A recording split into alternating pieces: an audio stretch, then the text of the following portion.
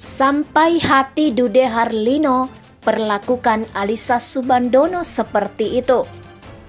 Selama delapan tahun menikah, begini kelakuannya.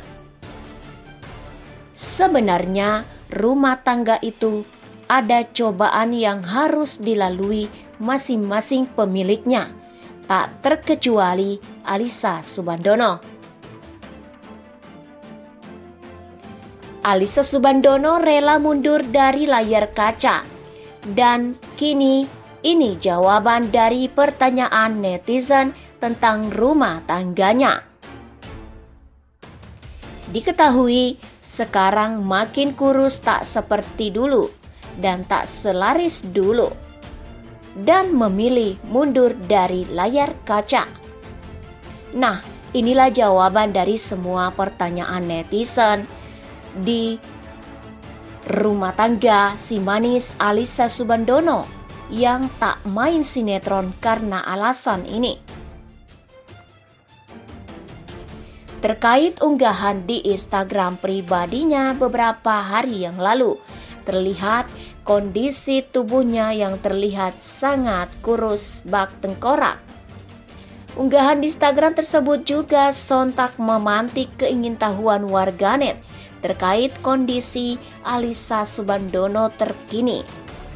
Anindya Alisa Subandono adalah seorang pemeran dan model asal Indonesia. Wanita kelahiran Jakarta pada 25 Desember 1991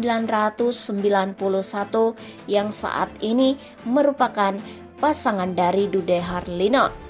Artis cantik berusia 31 tahun ini kini ramai jadi perbincangan publik lantaran tubuhnya yang terlihat kian kurus. Banyak warganet yang menduga bahwa Ica dalam kondisi sedang tidak baik-baik saja setelah menikah dengan Dude Harlino. Apa sebenarnya yang terjadi pada Alisa Subandono?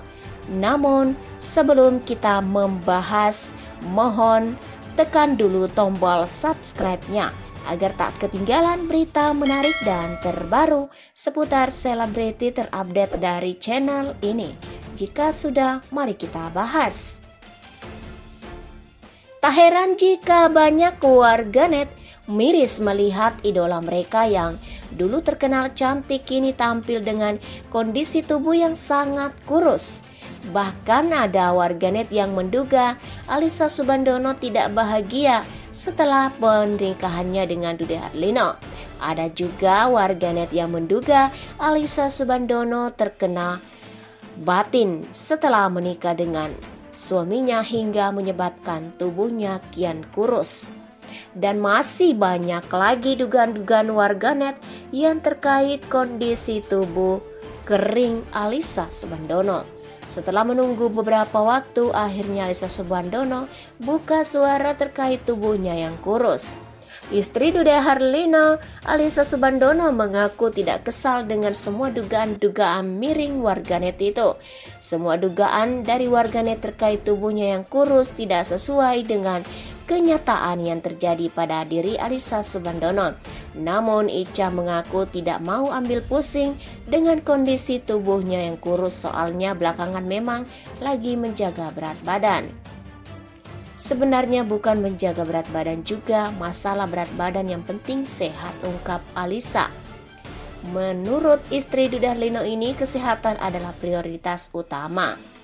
Demi menjaga berat badannya, Alisa Subandono juga sempat puasa.